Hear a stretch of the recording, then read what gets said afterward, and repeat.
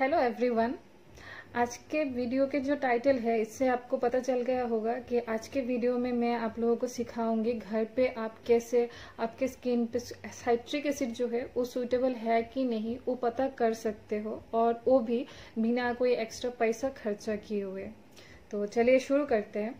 Basically देखिए market में आजकल ऐसा प्रोडक्ट अवेलेबल हो गया है बहुत सारा, जिसमें साइट्रिक एसिड अवेलेबल होता है। और जो और इसमें ये भी लिखा रहता है कि वो ऑल स्किन टाइप्स के लिए सूटेबल है, जो कि सही नहीं है। क्योंकि साइट्रिक एसिड क्या करता है? जो स्किन में एक्सेस ऑयल होता है, उसको ड्राई कर देता है। और जिसका स्किन ड्राई है नॉर्मल स्किन भी चलता है तो जिसका स्किन स्पेसिकली ड्राई है सेंसिटिव है, और कॉम्बिनेशन स्किन है, उन लोगों की स्किन पे बेसिकली एक्सेस ऑयल नहीं रहता है। तो वो लोग अगर वो वाला साइट्रिक एसिड वाला प्रोडक्ट यूज़ करें या फिर साइट्रिक एसिड ही डायरेक्ट यूज़ करे, जो भी करे। तो उन लोगों के स्किन से नॉर्मल ऑयल रहता है तो उन लोगों के स्किन के जो नॉर्मल ऑयल है, वो भी अगर ड्राई कर दे तो उन लोगों के स्किन में इशू क्रिएट हो जाता है। पर जिसका स्किन ऑयली है ऑयल स्किन वाले लोगों के स्किन पे बहुत ज़्यादा एक्सेस ऑयल रहता है। तो वो लोग अगर साइट्रिक एसिड वाला प्रोडक्ट यूज़ करें या फिर साइट्रिक एसिड यूज़ करें तो उन लोगों के स्किन से जो एक्सेस ऑयल है, वो ड्राई हो जाता है। तो ड्राई होने की वजह से एक्सेस ऑयल ड्राई होने की वजह से ऑयल स्किन वाले लोगों का जो स्किन है, वो एकदम क्लीन एंड क्लियर रहता है अच्छा रहता है।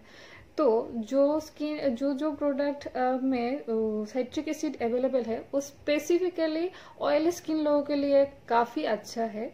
नॉर्मल स्किन वाले लोगों के लिए भी अच्छा होता है।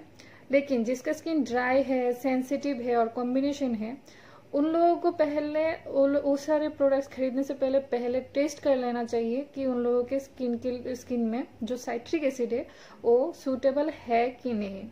अदरवाइज़ देखिए, मान लीजिए आपका स्किन ड्राई है, या फिर कॉम्बिनेशन टाइप का है, या फिर जो भी सेंसिटिव स्किन इस टाइप का है। तो और आप मार्केट से ऐसा कोई प्रोडक्ट खरीद लिए हैं जिसमें ऑलरेडी साइट्रिक एसिड अवेलेबल है।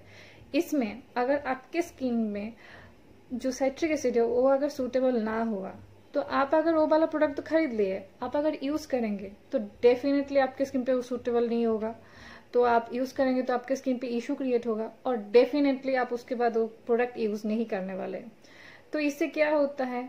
तो आपका यूज़ नहीं करेंगे तो प्रोडक्ट खरीद तो लिए, पैसा तो दे दिया तो आपका पैसा वेस्ट हो गया। पर जिसका स्किन ऑयली है तो उन लोगों के लिए तो सही है, ठीक है यूज़ कर सकते कोई इश्यू नहीं है। तो अपना पैसा बिना मतलब के क्यों खर्चा करे या बिना मतलब के क्यों वेस्ट करे? इससे अच्छा है, पहले हम आसानी से साइट्रिक एसिड हम घर पे टेस्ट कर सकते हैं, वही कर ले, उसके बाद हम प्रोडक्ट खरीदे। तो चलिए शुरू करते कैसे देखते हैं, हम लोग घर पे कैसे पता कर सकते हैं? नॉर्मली देखिए मैं खुद भी ऐसा कर चुकी हूँ और मेरे घर में मेरे स्किन कॉम्बिनेशन टाइप का है। मतलब ऑयली स्किन का जो टी एरिया है, वो ऑयली है। बाकी का जो चीक्स वगैरह है, वो ड्राई है। तो मेरा स्किन जो है कॉम्बिनेशन टाइप का है। और मेरे घर में मेरे मम्मी का जो स्किन है, वो है ड्राई एकदम फुल ड्राई स्किन का है। और मेरी एक बुआ है, जिसका स्किन फुल ऑयली है। ये मेरा खुद का घर का पर्सनल एक्सपेरिमेंट है। तो जो साइट्रिक एसिड, देखिए, हर घर में नॉर्मली नींबू ज़रूर होता है। और नींबू में क्या रहता है? साइट्रिक एसिड रहता है। तो मैं नॉर्मली जो भी साइट्रिक एसिड है, वाला जो प्रोडक्ट होता है, मैं एक्चुअली साइट्रिक एसिड वाला प्रोडक्ट आप छोड़ ही दीजिए। मैं डायरेक्टली नींबू के में आती हूँ। तो नॉर्मली हम लोग एक बार क्या किया तो एक पैक बनाए थे, जिसमें होममेड पैक बनाए थे, जिसमें नींबू भी था। तो वो वाला प्रोडक्ट्स हमने, मैंने मतलब वो जो होममेड जो पैक था, वो हमने आपके हमारे फेस पे अप्लाई किए थे।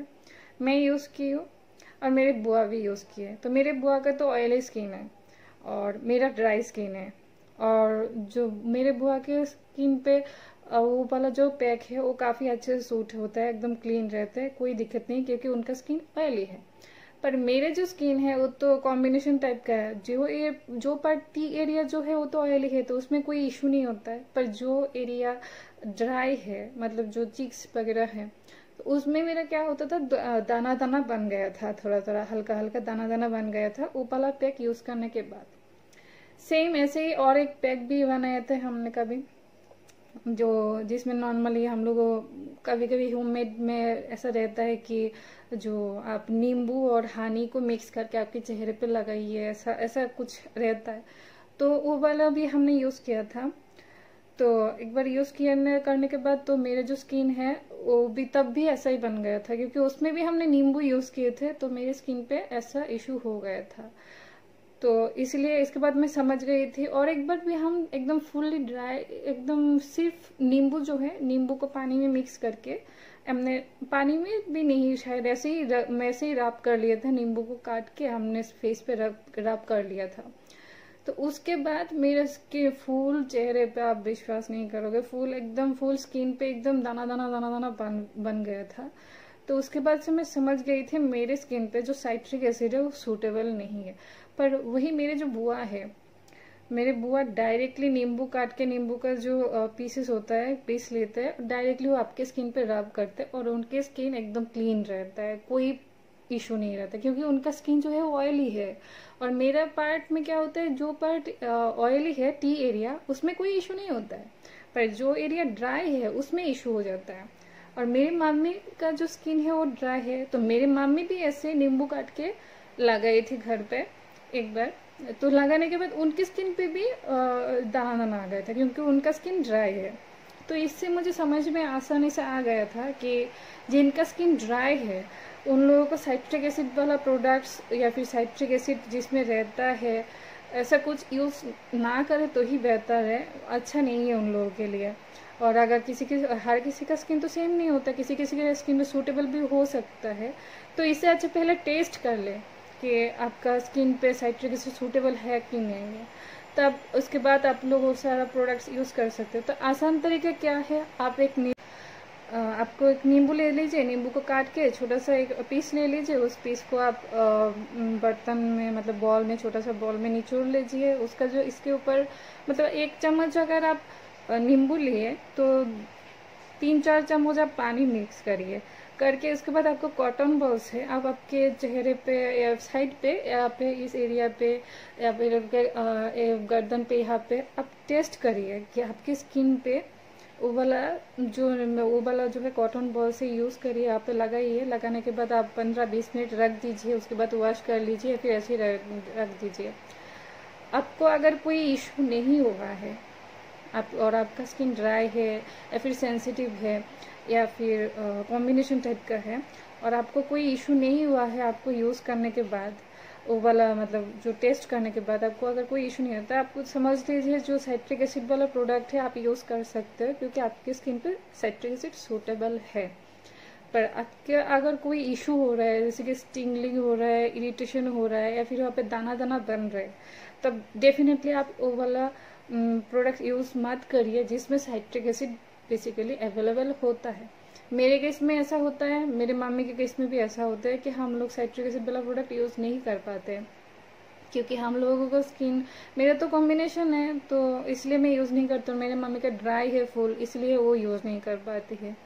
क्योंकि वो जो हम को इशू होते दाना दाना आ जाता है। तो इसलिए पहले तो इसलिए हम लोग अभी साइट्रिक एसिड वाला प्रोडक्ट खरीदते ही नहीं है, जिसमें साइट्रिक एसिड मतलब सारे प्रोडक्ट्स खरीदते ही नहीं, जिसमें साइट्रिक एसिड ऑलरेडी अवेलेबल होता है। तो बिना मतलब का पैसा क्यों खर्चा करना? पहले टेस्ट कर लो, आसान सा तरीका है, सबके घर में नींबू होता है, कोई इशू नहीं है, बस आसानी से एक टेस्ट कर लो छोटा सा। तो इसके बाद आप खरीदो, कोई दिक्कत नहीं है। तो आपको मुझे लगता है ये वाला टिप्स अच्छा लगा होगा। मतलब वो बहुत आसान तरीका है आपका स्किन पे आप जाँच करने का टेस्ट करने का कि आपकी स्किन पे साइट्रिक एसिड अवेलेबल सूटेबल है कि नहीं है। तो आप करके देख सकते हो, उसके बाद खरीदो। उम्मीद करते हो आपको वीडियो अच्छा लगे। तो वीडियो अच्छे लगे तो लाइक शेयर और सब्सक्राइब ज़रूर करिए। मिलते हैं नेक्स्ट वीडियो में। बाय